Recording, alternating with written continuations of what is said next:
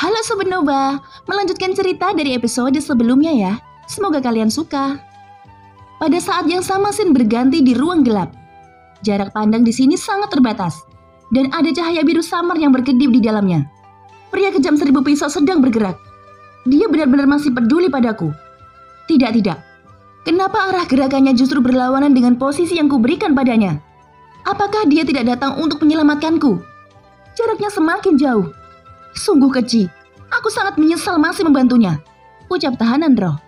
Cahaya biru yang berkedip-kedip di ruang gelap ini tidak lain adalah tahanan roh di dalamnya. Dikelilingi oleh garis merah tebal, dan ada sosok tidak jauh dari tahanan roh di depannya. Hehehe, aku tidak menyangka akan menangkapmu. Ucap sosok itu berjarak kurang dari setengah meter, dan perlahan mendekati tahanan roh dari kegelapan. Di bawah cahaya biru tahanan roh, bayangan hitam itu masih belum jelas, lalu berubah menjadi udara hitam dan langsung menerkam ke arah tahanan roh. Cahaya biru yang megah meledak dari mata besar tahanan roh. Segala sesuatu di sekitarnya yang gelap pada saat ini secara bertahap menjadi jelas di bawah cahaya biru. Cahaya biru menyinari kegelapan di sekitarnya, dan banyak segel batasan muncul dalam kehampaan. Batasan yang tak terhitung jumlahnya saling terkait, membentuk formasi yang megah dan luas. Seluruh formasi terletak di bawah tempat tahanan roh berada, dan ada bayangan hitam besar yang berjongkok di bawah formasi. Saya mendengar bahwa ada binatang ilahi bernama Dajjal di dunia ini. Matanya diubah oleh sumber jiwa. Dulu berada di sisi Susang, tetapi karena Susang tewas, dia juga memilih mati mengikuti tuannya. Tapi sebagai sumber jiwa, Dajjal tidak akan binasa. Hari ini aku akan menggunakan kekuatanmu untuk mematahkan larangan Susang. Tapi jika kamu bersedia melepaskanku dengan patuh, aku akan membiarkanmu pergi dengan aman sesudahnya. Ucap sebuah suara misterius di dekat tahanan roh. Melepaskanmu? Aku bahkan tidak tahu siapa itu Susang. Jadi mengapa aku harus membantumu? Ucap tahanan roh. Meskipun saat ini tahanan roh juga terjebak tetapi tidak ada ketakutan di matanya. Kamu memiliki banyak temperamen. Jika kamu tidak ingin merusak segel batasan ini dan melepaskanku, maka kamu dan aku disegel di sini selamanya. Ucap sosok misterius itu mendengus dingin. Dia tidak bisa sepenuhnya merusak segel pembatas di sini, kecuali tahanan roh yang melakukannya. Tidak mungkin untuk merusaknya. Mengapa segel pembatas di sini terasa sedikit familiar? Ucap tahanan roh melihat sekelilingnya. Dia tidak terburu-buru. Tahanan roh tidak bisa mati. Mata kirinya disegel oleh Susang, dan dia bisa hidup abadi melewati tahun-tahun kuno. Namun bukan berarti tahanan roh mau terjebak di sini selamanya. Oleh karena itu dia mengirim pesan kepada Sioyan agar membantunya. Pria kejam seribu pisau yang tidak berperasaan itu. Bukankah dia benar-benar tidak datang untuk menyelamatkanku? Ucap tahanan roh sekali lagi mengirim pesan ke Sioyan. Sin berganti. Sioyan yang sedang duduk bersila di punggung kelinci Bingyun mengangkat telapak tangannya. Melihat cincin penyimpanan yang bersinar dengan cahaya biru, suara minta bantuan dari tahanan roh sekali lagi muncul. Tapi kali ini Sioyan sedikit mengernyit. Mungkin tahanan roh memang dalam bahaya nyata. Xiaoyan tidak tahu keberadaan seperti apa yang bisa mengancam tahanan roh di alam Suanyin ini. Meskipun tahanan roh biasanya ditekan oleh Xiaoyan, kekuatan yang ditunjukkan oleh tahanan roh selalu luar biasa kuat. Hampir tidak ada segel batasan yang bisa menjebaknya. Xiaoyan tidak bisa membayangkan seberapa kuat kekuatan jiwanya untuk dapat menjebak tahanan roh. Suamiku, apakah ada masalah? Ucap sang ratu ketika melihat ekspresi Xiaoyan. Tidak apa-apa. Mari kita atasi monster Void Taisu itu dulu ucap Xiaoyan menggelengkan kepalanya. Karena tahanan roh dapat mengirimkan panggilan kedua untuk meminta bantuan, itu berarti dia tidak dalam bahaya nyata. Kemungkinan besar dia hanya terjebak, dan belum terlambat bagi Xiaoyan untuk menemukannya. Untuk sementara Xiaoyan masih memilih kembali ke tempat di mana hutan belantara abadi berada.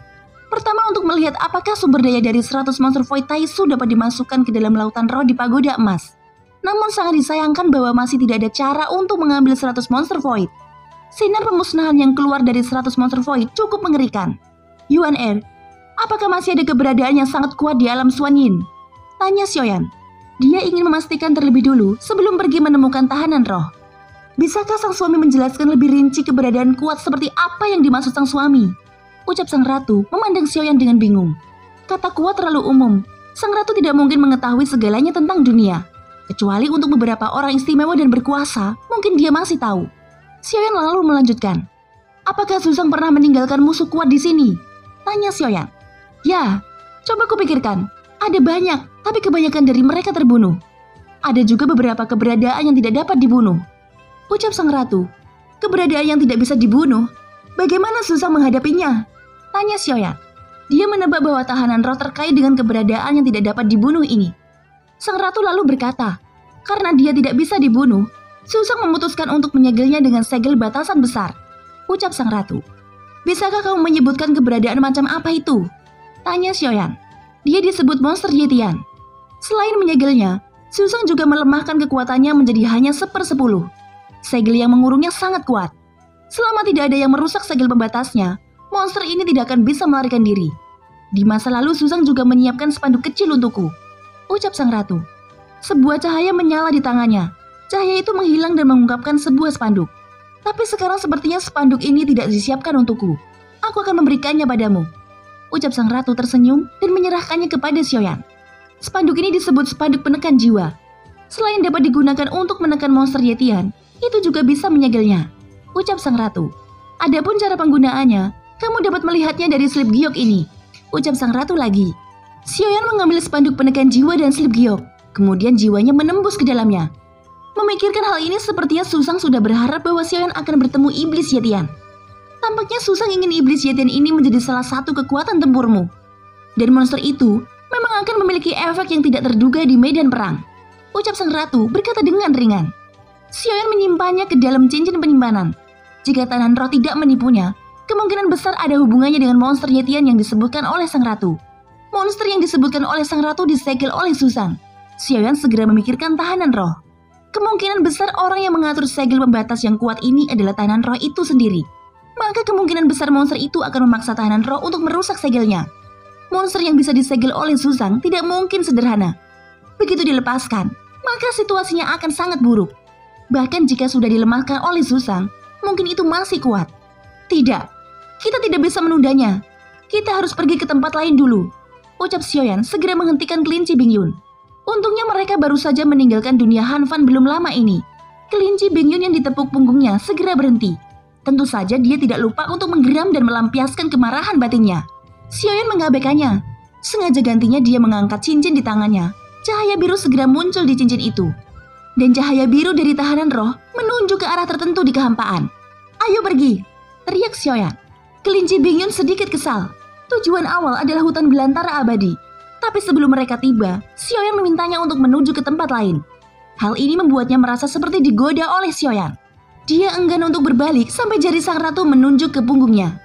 Kelinci Bingyun tanpa henti menggelengkan kepalanya dengan marah. Lakukan saja, ucap sang ratu. Pada akhirnya kelinci Bingyun membelokkan tubuhnya dengan tak berdaya. Hah, apa yang terjadi? Mengapa kamu ingin kembali? Ucap jiwa Cimi juga menyatakan kebingungan dari belakang. Xiaoyan duduk bersila lalu berkata dengan dingin. Teruskan saja, ucap Xiaoyan. Jiwa Cimi terkejut, kepahitan di wajahnya menjadi lebih jelas. Dia tidak bisa membayangkan betapa menderitanya menjadi bawahan Xiaoyan selama 10.000 tahun nanti. Kelinci Bingyun menjarah ke arah yang ditunjuk Xiaoyan. Cahaya biru di atas cincin itu selalu membimbingnya ke arah tertentu. Sang ratu memandangi kehampaan di depannya. Alisnya sedikit terangkat saat dia berbicara. Mungkinkah sang suami berniat menemukan monster Yetian? Tanya sang ratu. Xiaoyan mengangguk lalu dia berkata, Tahanan roh sepertinya terjebak oleh monster ini. Kita harus menemukannya. Jawab Xiaoyan. Pada saat ini tahanan roh yang terperangkap sepertinya bisa mendengarkan suara Xiaoyan dan tiba-tiba merasakan terharu di hatinya. Aku tahu bahwa pria kejam seribu pisau masih peduli padaku. Maafkan aku. Aku hampir membuat kesalahpahaman padamu. Ucap tahanan roh berlinangan dengan air mata. Sin kembali ke tempat Xiaoyan lagi. Tahanan roh, siapa dia? Tanya sang ratu. Dia belum pernah mendengar nama ini. Xiaoyan lalu berkata, Bukankah Yuan Er seharusnya tahu tentang keberadaan yang mengikuti Susang sebelumnya? Dia disebut tahanan roh. Ucap Xiaoyan. Sang ratu menggelengkan kepalanya setelah berpikir sejenak. Aku hanya tahu bahwa dulunya ada makhluk ilahi bernama Dajjal di samping Susang. Dia mahir dalam seni segel pembatas, tapi aku belum pernah mendengar tentang tahanan roh. Jawab sang ratu dengan serius. Xiaoyan juga merasa aneh ketika mendengar kata-kata itu. Selain dipanggil tahanan roh, dia tidak tahu nama aslinya dan tidak pernah mendengar tentang Dajjal. Namun tidak masalah, dia akan tahu ketika dia menemukan tahanan roh itu sendiri. Tahanan roh bisa mendengar obrolan mereka melalui jejak spiritualitas di cincin penyimpanan Xiaoyan. Bagi tahanan roh, pujian itu sangat berharga. Pada titik tertentu, air mata biru perlahan menetes darinya, dan air mata melayang di kehampaan sebelum jatuh. Saat air mata itu jatuh, ia tiba-tiba menyentuh segel pembatas di kehampaan. cahaya biru meledak. Batasan yang disentuh oleh air matanya runtuh dalam sekejap. Lebih dari selusin tetes air mata seperti itu mengalir ke arah kehampaan. Segel pembatas yang kuat membuat getaran hebat seolah-olah akan runtuh. Tahanan roh juga memiliki bakat yang sangat tinggi untuk seni segel pembatas. Aku pikir itu ada hubungannya dengan dajil yang disebutkan oleh Yuan Er. Aku juga butuh kekuatannya untuk merusak segel pembatas pada monster Void Taisu. Ucap Xiaoyan. Sin berganti ke tempat tahanan roh. Benar saja, dia tidak lebih dari memanfaatkanku. Aku seharusnya tahu bahwa pria kejam seribu pisau tidak pernah memiliki niat baik padaku. Dia hanya ingin menggunakan kekuatanku. Ah, lupakan saja. Singkatnya dia masih mau datang untuk menyelamatkanku. Meskipun penuh kebencian, itu lebih baik daripada terjebak di sini selamanya. Ucap tahanan roh. Kesedihan di matanya berubah menjadi kemarahan. Tetapi ketika melihat ke bawah, ia menemukan bahwa formasi lengkap di sini sudah rusak ke titik tertentu. Ini adalah formasi yang terdiri dari batasan yang tak terhitung jumlahnya. Dengan kekuatan penyegelan yang sangat kuat, sangat sulit untuk memecahkannya. Setidaknya tidak ada seorang pun di alam Suanin yang dapat memecahkan batasan ini. Namun meskipun pembatasan ini kuat, ia telah melewati pembaptisan tahun-tahun kuno. Energi segel pembatas pada akhirnya akan mencapai batasnya. Dan kerusakan seperti itu cukup untuk membuat kekuatan segel pembatas ini kehilangan keseimbangannya. Hehehe, lama tidak bertemu Dajil ucap sebuah suara misterius itu lagi. Pada saat ini di ujung bawah dunia yang gelap, di bawah segel batasan besar, suara jahat perlahan datang darinya. Tahanan roh sedikit terkejut ketika mendengar suara itu. Dia menundukkan kepalanya lalu berkata, Bajingan sepertimu, apa yang kamu tertawakan? Kamu masih bisa tertawa terbahak-bahak, bahkan setelah disegel di sini. Ucap suara suram tahanan roh. Dia melihat batasan di sekelilingnya mulai hancur dengan sendirinya, dan banyak batasan mulai runtuh.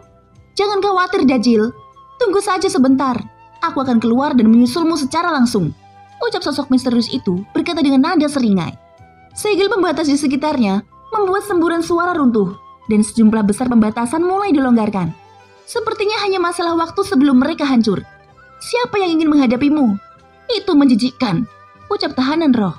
Setelah berbicara, cahaya biru keluar dari matanya yang besar, lalu tersapu dalam sekejap. Tahanan roh benar-benar memperbaiki susunan batasan yang longgar. Aku tidak akan membiarkanmu keluar. Biarkan aku memperkuatnya dengan dua poin lagi. Ucap tahanan roh. Dalam sekejap ratusan batasan telah dipadatkan, dan seluruh segel pembatas sebelumnya diselesaikan. Saat berikutnya raungan kemarahan terdengar dari kehampaan. Dajil, Dajil, lepaskan pengengkang untukku. Kalau tidak, aku akan menyiksamu sampai mati. Teriak sosok misterius itu. Raungannya seperti guntur yang menggelinding, dan itu mengandung paksaan yang sangat kuat. Tetapi ekspresi wajah Tanan Roh masih datar. Dia bahkan tidak peduli tentang raungannya dan benar-benar menutup telinga untuk itu.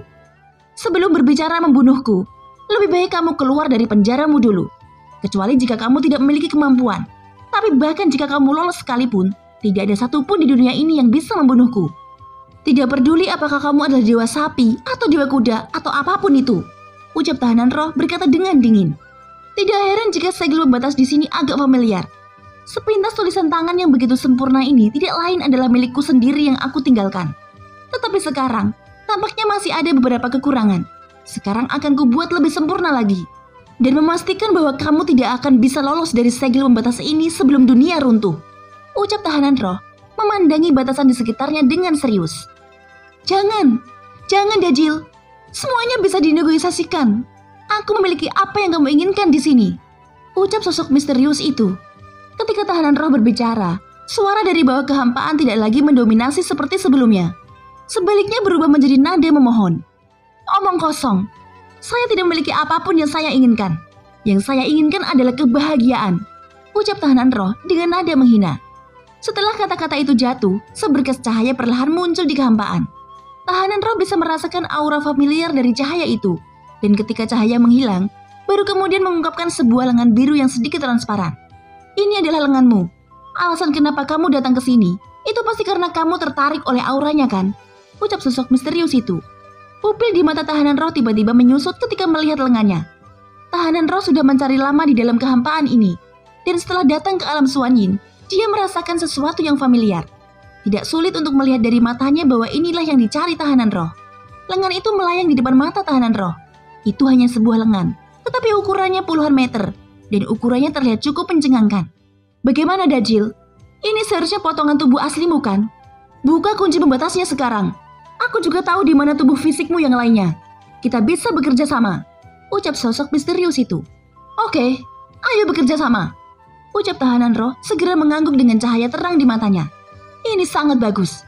Ucap sosok misterius itu ada suara bahagia di kehampaan. Katakan padaku, di mana potongan lainnya? Ucap tahanan roh. Ayo lepaskan segel pembatasnya. Ucap sosok misterius itu. Dua suara sama-sama keluar di waktu yang bersamaan.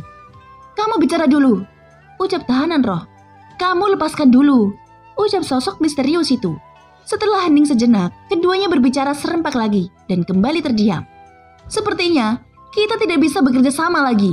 Ucap tahanan roh meludah dan berkata dengan tidak senang. Apakah kamu pikir aku bodoh? Bagaimana jika kamu melarikan diri setelah aku mengatakannya? Ucap sosok misterius itu, suaranya terus datang dari kehampaan. Lari? Ke mana aku bisa lari? Kamu membuat jaring dengan sutra jiwa tahanan untuk menjebakku. Bisakah aku lari? Jika kamu ingin bekerja sama, setidaknya aku harus mendengar apa yang kamu katakan benar atau tidak. Tetapi jika aku melepaskanmu dulu, bagaimana jika pada akhirnya kamu berbohong padaku? Ucap tahanan roh mendengus dingin apa yang dia katakan memang masuk akal. Ada jaring sutra di sekitar tahanan roh yang tidak bisa dilihat dengan mata telanjang. Justru karena jaring inilah yang menjebak tahanan roh di sini. Sulit untuk dipatahkan dalam waktu singkat. Sosok itu lalu berkata, Aku merebut lengan ini dari perut binatang buas. Sebagian besar tubuhmu diasingkan ke dunia selain sensi. Potongan-potongan tubuhmu berada di beberapa dunia, termasuk dunia kuno Dewa Iblis, dunia Iblis berbeda, dan dunia pegunungan lautan. Apa yang membuatku penasaran adalah kenapa tubuhmu terbagi. Ucap sosok misterius itu. Suaranya yang dalam datang dari kehampaan, tanpa kekuatan paksaan seperti sebelumnya, itu lebih seperti mengobrol dengan tahanan roh. Ini menyusahkan, Bagaimana bisa melayang ke dunia lain? Ucap tahanan roh dengan sedih. Oke, aku sudah mengatakannya. Ayo lepaskan segel pembatasnya. Ucap sosok misterius itu. Mengatakannya? Apa yang kamu katakan? Apakah kamu mengatakan omong kosong? Bagaimana aku tahu apakah yang kamu katakan itu benar atau tidak? Setidaknya beri aku beberapa petunjuk yang berharga dan spesifik. Bersikaplah dengan tulus dan ubah hati busukmu itu. Ucap tahanan roh dengan marah. Dunia kuno Dewa Iblis ditempati oleh sebuah sekte lembah angin yang merobek. Dan ras iblis yang berbeda di belantara selatan berjuang untuk itu. Sedangkan dunia pegunungan dan lautan ditempati oleh ras yang disebut Cicin Dilong. Hanya ini yang saya tahu, seharusnya cukup detail. Ucap suara dalam di kehampaan. Sosok misterius itu tidak menyembunyikannya. Ia hanya bisa dengan patuh mengatakannya. Umumnya, detailnya nyaris tidak lulus. Ucap tahanan roh seperti hakim ketua. Dia hanya sedikit puas, tapi tidak terlalu puas. Jangan bermain-main denganku. Tepati kata-katamu dan cepat cabut batasannya. Ucap sosok misterius itu lagi. Menghadapi kata-kata menghina tahanan roh, suara di bawah kehampaan akhirnya mencapai batas kesabaran. Dan mau tidak mau meraung marah. Jangan gelisah, jangan tidak sabar. Karena aku berjanji, aku pasti akan membantumu. Tapi, ucap tahanan roh mendadak berhenti. Tapi apa? Apalagi yang kamu inginkan? Bicaralah kentut, kamu masih sama seperti sebelumnya bajingan yang menyebalkan. Ucap sosok misterius itu tidak tahan lagi. Tapi kamu harus menunggu. Ucap tahanan roh. Tidak peduli seberapa cemas suaranya, tahanan roh selalu berbicara dengan lambat. Dan cara berbicara ini paling menyiksa. Apa yang kamu tunggu? Ucap suara itu terus datang dari kehampaan. Aku tidak tahu. Jawab tahanan roh. Tidak tahu. Ucap sosok itu tertegun. Aku hanya ingin menunggu. Jawab tahanan roh dengan santai. Segera tahanan roh melihat batasan di sekitarnya. Dia tidak hanya tidak melanggar batasan, tetapi juga memperbaiki dan memperkuat batasan yang rusak itu. Apa yang kamu lakukan? Ucap suara gemuruh bergema di kehampaan lagi. Setelah menyelesaikan pekerjaanku, aku tidak memperhatikannya sebelumnya. Sekarang tampaknya masih banyak kekurangan. Jika aku meletakkan pembatas ke sisi barat kehampaan dan kehampaan selatan, kemudian mengisinya dengan 99 batasan roh abadi, maka kekuatan segel pembatasnya bisa ditingkatkan 1 sampai dua kali. Ucap tahanan roh mengangguk. Terlepas dari seberapa kesal suara dari sosok misterius itu, tahanan roh terus memperbaiki ketidakcukupan segel pembatas. Sudah hampir selesai. Ucap tahanan roh. Hei, aku ingin kamu melanggar batasannya, bukan untuk memperkuatnya. Teriak sosok misterius itu. Deru suaranya di dalam kehampaan terus berdatangan. Tahanan roh lalu berkata, Keterampilan apa yang melanggar batasan? Kamu makhluk berkarat. Bersyukurlah karena aku bersedia menunjukkan padamu keterampilan segel pembatas yang sempurna. Berdasarkan kesempurnaan ini, aku ingin membuat dunia merasa wow setelah melihatnya. Ucap tahanan roh bersinar terang, seolah dia sangat bersemangat. Dan tampaknya, semakin marah suara dalam kehampaan, semakin bersemangat tahanan roh. Benda bajingan, iblis macam apa yang sudah diajarkan Susang padamu? Teriak sosok misterius itu. Suara dalam kehampaan akhirnya keluar dengan suara tak berdaya, dan berhenti meraung. Karena sepertinya kata-kata jelek tidak berguna di mata tahanan roh, Formasi besar yang tampak redup itu meledak dengan cahaya menyilaukan. Atas dasar batasan asli yang tak terhitung jumlahnya, tahanan roh telah memperbaikinya menjadi lebih sempurna. Pengaturan batasan yang teratur menguraikan seluruh batasan besar, yang mempesona seperti istana. Melihat karyanya sendiri, tahanan roh mengangguk puas. Mahakarya yang begitu besar, itu bisa menjebak makhluk apa pun selama puluhan juta tahun. Master tahanan roh ini benar-benar seorang jenius, ucap tahanan roh. Tapi kali ini tidak ada suara marah yang keluar dari kehampaan. Seolah-olah dia tidak tahu harus berkata apa lagi. Itu karena sudah tidak berguna. Setelah waktu yang tidak diketahui berlalu, ada suara siulan di kehampaan. Dan tahanan roh segera melihat ke arah suara itu. Bayangan putih dari kelinci Bingyun datang dengan cepat. Hei, pembunuh seribu pedang akhirnya ada di sini. Ucap tahanan roh. Dia? Mengapa ada permaisuri? Orang yang kamu tunggu sebenarnya adalah permaisuri. Dajil, kamu sangat tercela. Kenapa kamu tidak mengatakan apa-apa? Ucap suara di kehampaan. Setelah diam lama, suara di kehampaan mau tidak mau harus berteriak lagi. Permaisuri apa? Aku sedang menunggu pria kejam seribu pisau. Bagaimana jika kamu tidak melepaskanku setelah aku melepaskanmu? Aku tidak bisa mengalahkanmu, jadi aku harus mencari jaminan untuk diriku sendiri. Ucap tahanan roh sangat serius. Sosok misterius yang ditekan di bawah batasan ini benar-benar diintimidasi oleh tahanan roh tetapi tidak ada cara untuk melakukan apa-apa. Formasi besar sebelumnya tidak dapat ditembus, dan sekarang telah diperkuat lagi oleh tahanan roh. Bahkan lebih mustahil untuk ditembus secara paksa olehnya. Pada saat ini kelinci Bingyun yang membawa Xiaoyan dan sang ratu muncul di depan tahanan roh. Xiaoyan yang duduk bersila perlahan membuka matanya. Tahanan roh, sebaiknya beritahu aku alasannya. Ucap Xiaoyan. Pria kejam seribu pisau, kamu akhirnya di sini. Ada orang yang tidak masuk akal ingin menjebakku di sini. Dia bersikeras memintaku mencabut segel batasan. Aku tidak punya pilihan selain meminta pria kejam seribu pisau datang ke sini membantuku. Ucap tahanan roh tertawa dua kali. Tidak masuk akal. Dajil, tolong jelaskan juga bahwa kita sudah setuju bekerja sama. Lalu siapa yang tidak masuk akal? Kau kentut pelangi, tunggu saja. Jika dia masih tidak bisa melepaskanmu dari sini, aku pastikan menelanmu seumur hidup. Ucap suara marah di kehampaan. Pria kejam seribu pisau, kamu mendengarkannya kan? Dia terus-terusan mengancamku. Ucap tahanan roh memandang Xiaoyan dengan serius. Seolah-olah Xiaoyan adalah pelindungnya. Selain itu aku berkata padanya bahwa tunggu sebentar lagi sebelum aku memutuskan membebaskannya. Tapi dia malah tidak menyenangkan dan menghinaku dengan berbagai kata. Meskipun pria kejam seribu pisau biasanya tidak baik padaku, tetapi dia masih punya hati. Ucap tahanan roh terus berbicara. Xiaoyan sedikit mengernyit saat mendengar ini. Berisik, ucap Xiaoyan berkata dengan dingin dan tahanan roh langsung diam. Adapun Jimmy yang berdiri di belakang, dia melihat pemandangan itu dengan rasa ingin tahu. Dia sepertinya menganggapnya lucu, berpikir bahwa ternyata dia tidak sendirian dan korbannya cukup banyak. Yuan Er, apakah keberadaan di bawah ini merupakan monster yang kamu sebutkan? Ucap Xiaoyan menoleh untuk bertanya. Matanya yang dingin dan tegas tiba-tiba menjadi lembut. Melihat mata Xiaoyan yang berubah, tahanan roh langsung menjadi sangat kesal. Tentu saja dia hanya berani ketika Xiao memalingkan muka. Tepat sekali, ucap sang ratu mengangguk. Kita harus mengeluarkannya? Tanya Xiaoyan. Melihat batasan di sekitarnya, meskipun Xiaoyan tidak menunjukkan di wajahnya, tetapi dia masih cukup terkejut saat tiba di sini. Ini juga pertama kalinya Xiaoyan melihat formasi besar yang dibentuk oleh struktur pengekangan yang begitu tepat. Meskipun keberadaan yang ditekan di dalamnya tidak dapat dilihat, hanya dengan melihat pengekangan seperti itu, dapat dibayangkan berapa menakutkannya monster ini. Sang ratu lalu berkata, ada resiko untuk melepaskannya. Bukannya aku takut, tapi dia sangat licik. Sulit untuk dihadapi jika dia melarikan diri. Tapi tidak apa-apa.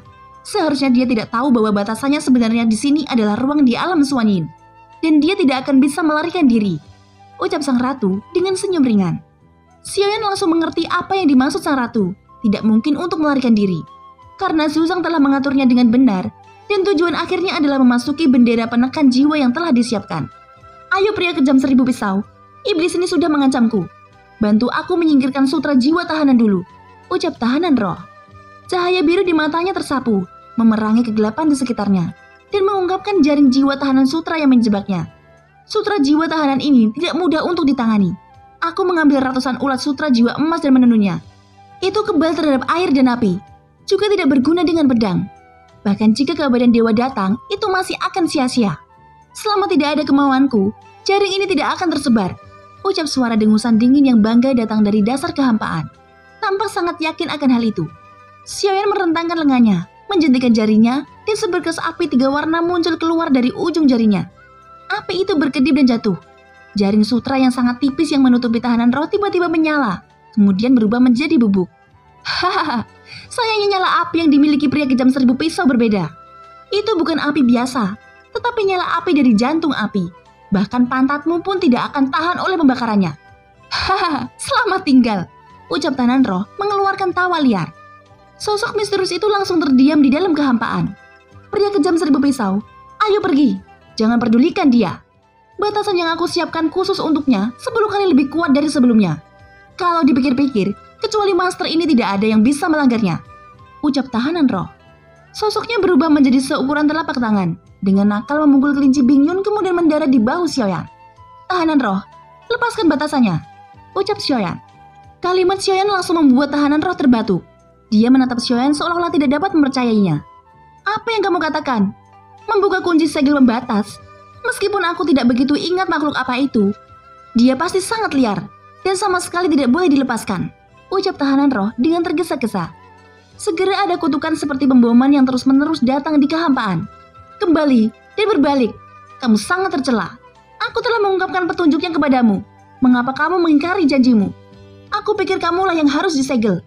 Kau dajil tercela. Kau seperti ini sebelumnya, dan masih seperti ini sekarang. Ucap suara menggelegar di kehampaan. Aku ingat, dia adalah monster Yetian. Dia sangat brutal.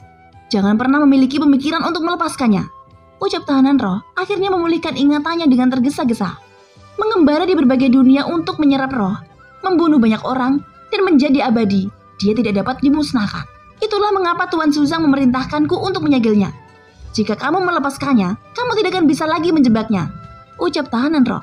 Kedengarannya sangat aneh, dan kedengarannya sangat kuat. Yetian, maukah kamu menjadi bawahanku? Ucap Xiaoyan tersenyum ringan dan berkata dengan tenang. Gila, gila, pria kejam seribu pisau. Iblis ini tidak akan mendengarkanmu sama sekali. Selama kamu melepaskannya, dia akan segera melarikan diri. Tolong ikuti saranku. Ucap tahanan roh tampaknya sangat cemas. Menjadi bawahan keabadian kaisar? Junior, apa yang kamu pikirkan? Ucap suara di bawah kehampaan, iblis bernama Yetian mendengus dingin. Thank you guys sudah mendengarkan ceritaku sampai akhir. Selamat bermalam minggu dan happy selalu. Sampai jumpa dan bye-bye.